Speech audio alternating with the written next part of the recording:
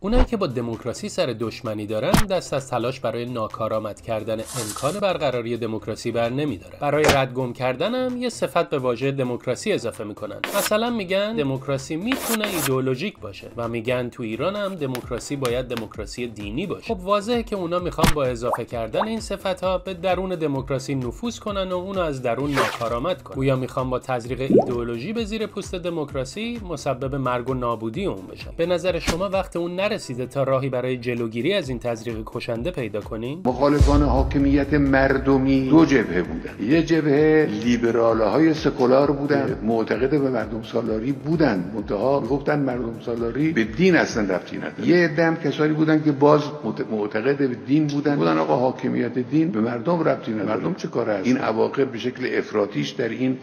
حضرات داعش این معتقد به حاکمیت دین بودن متها مردم رو هیچ کاره اینها میدونستن